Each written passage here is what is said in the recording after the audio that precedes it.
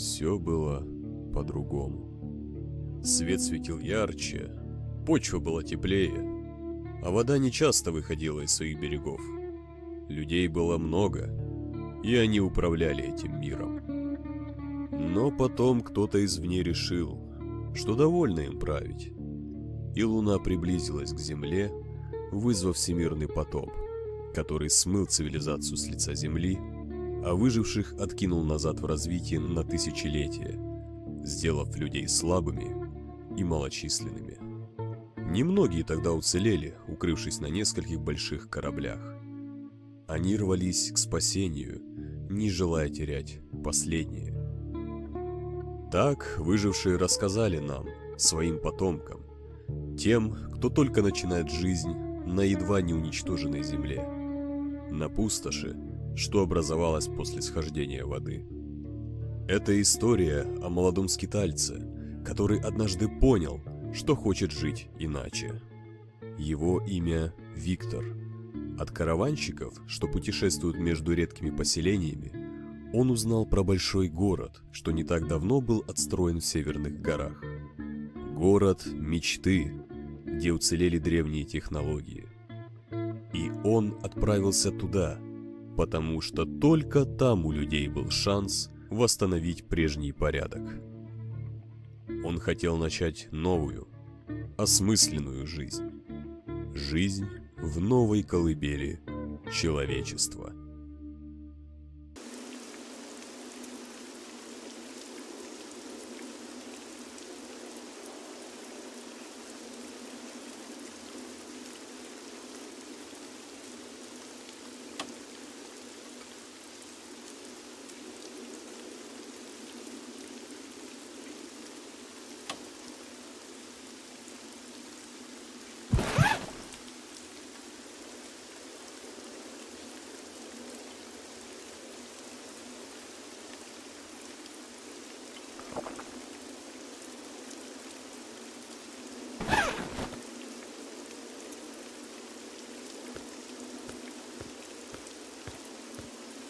Так, ну и где этот поезд? Я убираюсь отсюда. Сегодня, сейчас же.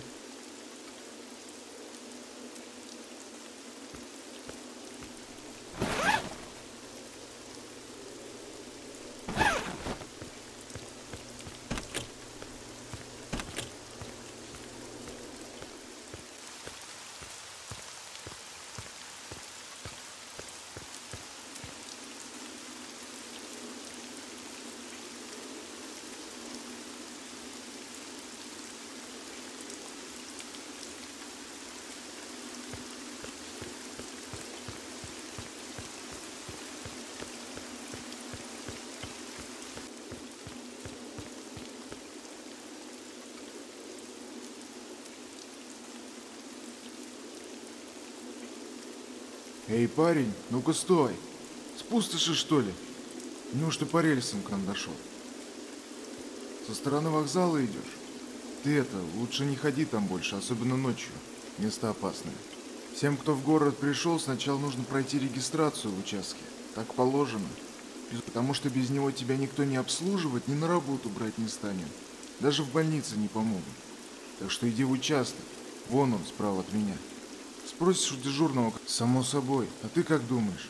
Все, давай заканчивать разговоры.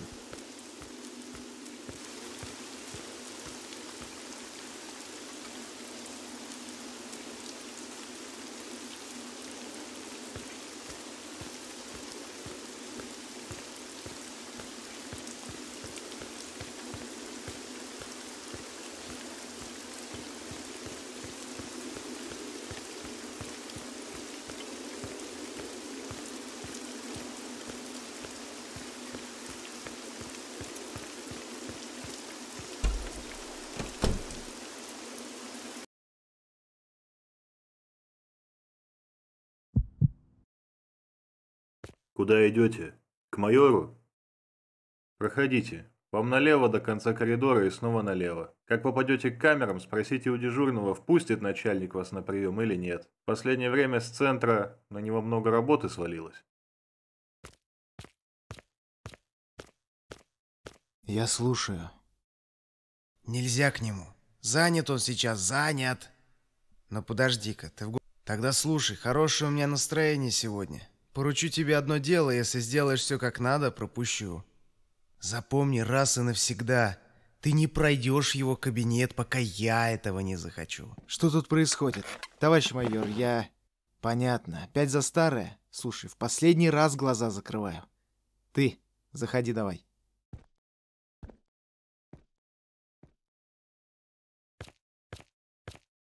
За удостоверением?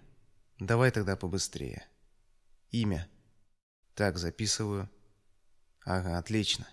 Ну все, приходи как-нибудь на неделе, документы будут готовы. Можешь пока остановиться в гостевом доме. Как выйдешь, иди не сворачивай в частный сектор. Крайний дом слева. Вообще подбором работы у нас занимается кадровик, но он уволился недавно. Ну давай посмотрим, только бумаги нужные найду. Так, что-то не могу найти. Короче, ладно, подойдешь за удостоверением, и тогда будем думать, куда тебя...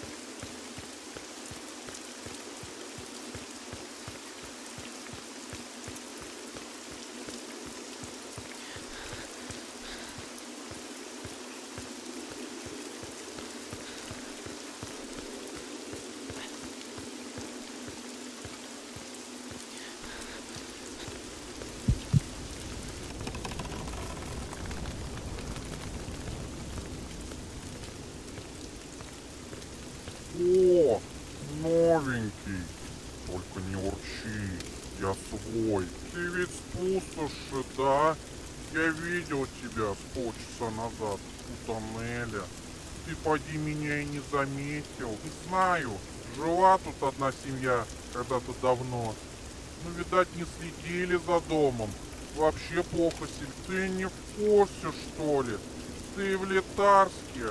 Ты уже в городе. А то место, что Литарск, это не просто город, это основа. Он тут еще до потопа стоял. До потопа! Да ты не парься, можешь на моем лежаке ночевать. Я ночью никогда не сплю. Холодно. Боюсь себя отморозить. Самое Виктор. Хорошее имя, чувак. Я его запомнил. Ладно, понял, не злись только. Я что пока в соседней комнате побуду. Понаблюдаю за обстановкой. А то мало ли кто может прийти.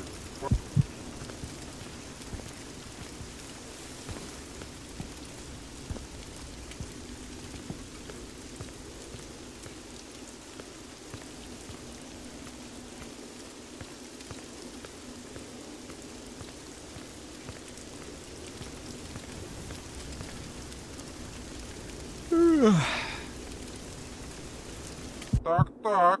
Ну и кто там у нас?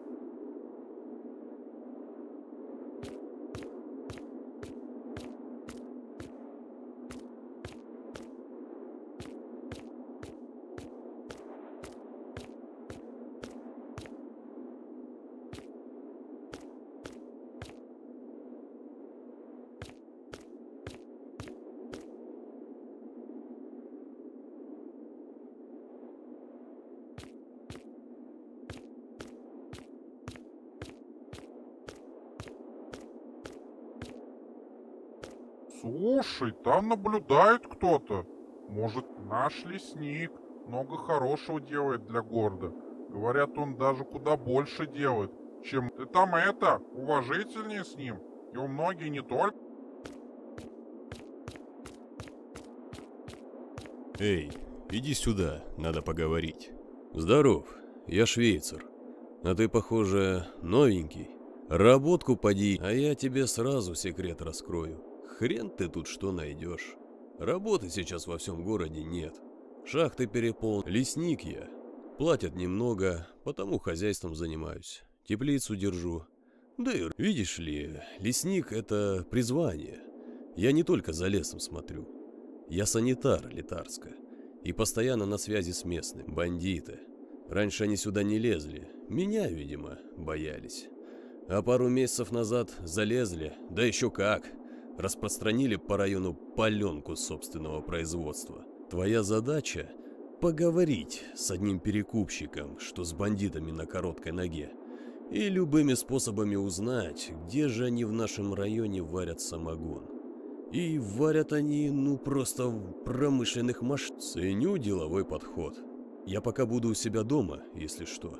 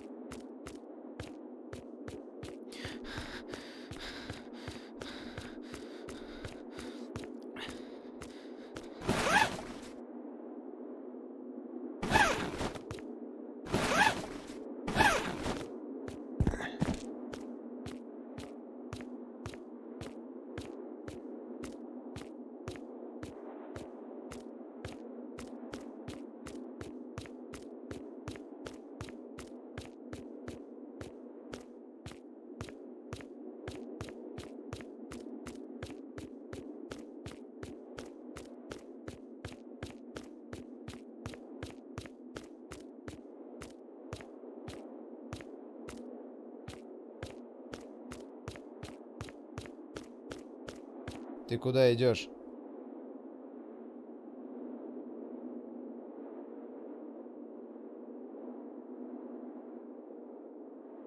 В поликлинику, что ли?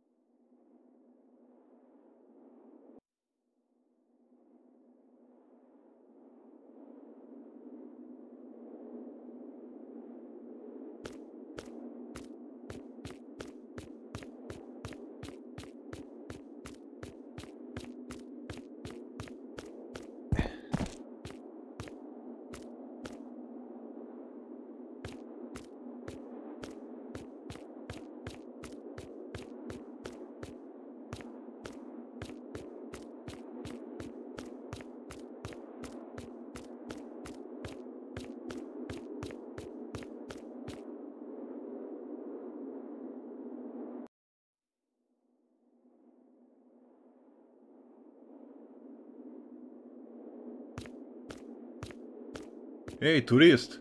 Это я шучу, не злись только. Хочешь позаработать?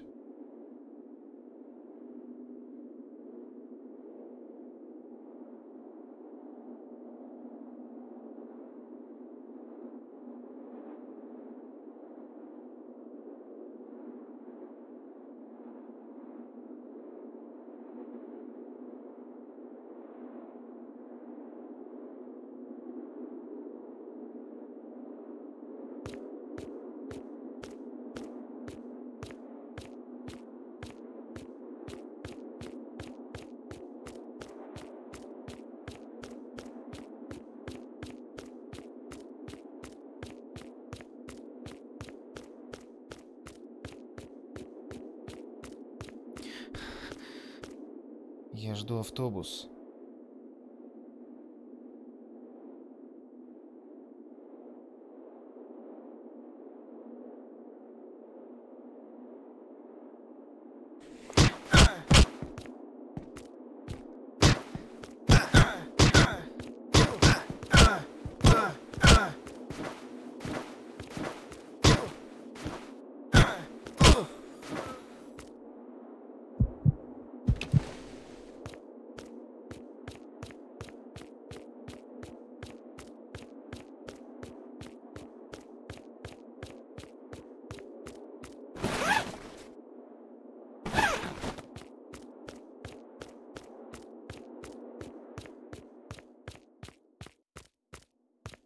Ну, давай деньги.